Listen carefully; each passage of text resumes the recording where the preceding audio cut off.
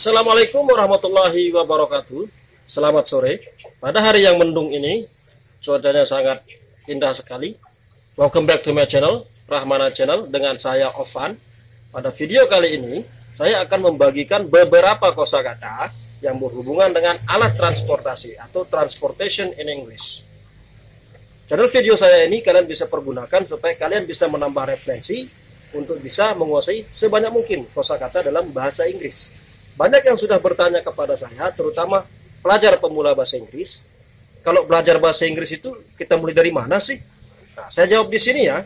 Kalau ingin belajar bahasa Inggris dari awal, maka yang perlu kita perhatikan pada awal-awalnya adalah menguasai sebanyak mungkin kosakata, terutama yang berhubungan dengan segala sesuatu yang ada di sekitar kita. Jadi special for today, khusus untuk hari ini, saya akan membahas tentang kosakata bahasa Inggris lengkap dengan cara baca dan artinya, yaitu kosakata tentang transportation atau alat-alat transportasi dalam keseharian kita. Pesan saya, kalau kalian sudah mempelajarinya, silahkan hafalkan dan praktikkan di rumah. Insya Allah pasti akan bermanfaat. Baik, Sebelum kita mulai, jangan lupa share, like, dan subscribe dulu supaya kalian tetap berlangganan video saya sehingga kalian akan lebih mudah untuk menambah referensi untuk belajar bahasa Inggris. So, let's get started. car. Car. Car. Bus. Bus. Bus. Minibus. Minibus. Minibus, motorcycle, motorcycle, motorcycle, bicycle, bicycle, bicycle.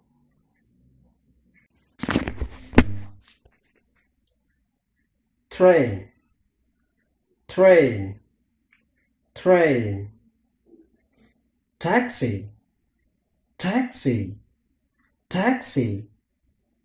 Truck, truck, truck, ambulance, ambulance, ambulance, airplane, airplane, airplane.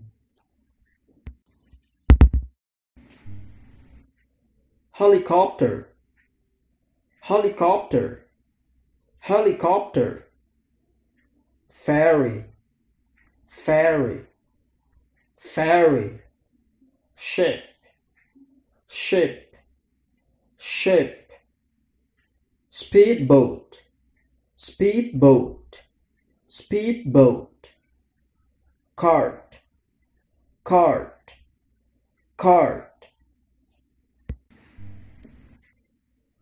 boat, boat, boat, sailboat, sailboat, sailboat, tractor, tractor, tractor, motorboat, motorboat, motorboat, jeep, jeep, jeep.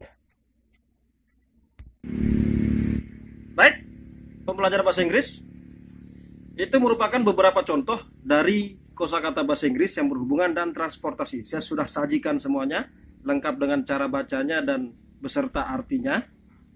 Jadi setelah menonton video ini, saya harapkan kalian itu semuanya tetap konsisten untuk bisa menghafalkan semuanya dan mempraktikkannya di rumah.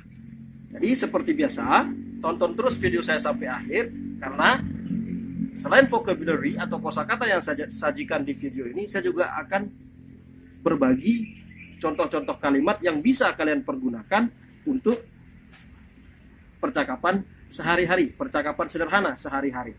So, let's check it out. How do you go to school? How do you go to school? How do you go to school? I go to school by bus. I go to school by bus. I go to school by bus. How does your father go to office? How does your father go to office? How does your father go to office? My father goes to his office by motorcycle. My father goes to his office by motorcycle. My father goes to his office by motorcycle. How do they go to the zoo? How do they go to the zoo? How do they go to the zoo? They go to the zoo by car.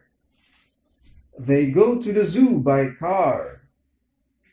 They go to the zoo by car.